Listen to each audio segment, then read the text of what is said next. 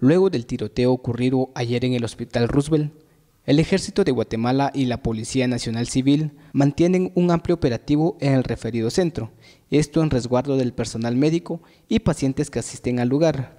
De tal cuenta, la Junta Directiva del Centro Asistencial informó que la atención a la población de tal cuenta, la Junta Directiva del Centro Asistencial informó que la atención a la población se dará exclusivamente en el área de emergencia mientras Carlos Soto, director general de Roosevelt, explicó que el servicio en la consulta externa se retomará hasta lunes 21 de agosto.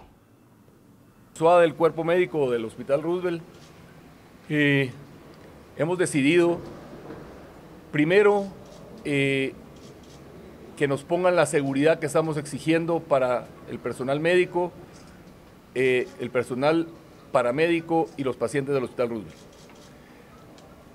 Por lo tanto, del día de hoy hasta el día domingo se trabajará por turnos. No se atenderán consultas externas, solo las emergencias.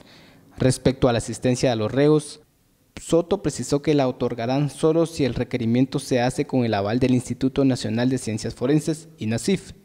Los médicos asimismo recordaron al gobierno la necesidad de mayor seguridad en el establecimiento, esto para evitar actos vandálicos como lo suscitado ayer, lo cual ha comenzado a atender el Ejecutivo con el despliegue conjunto de los efectivos del Ejército y la PNC.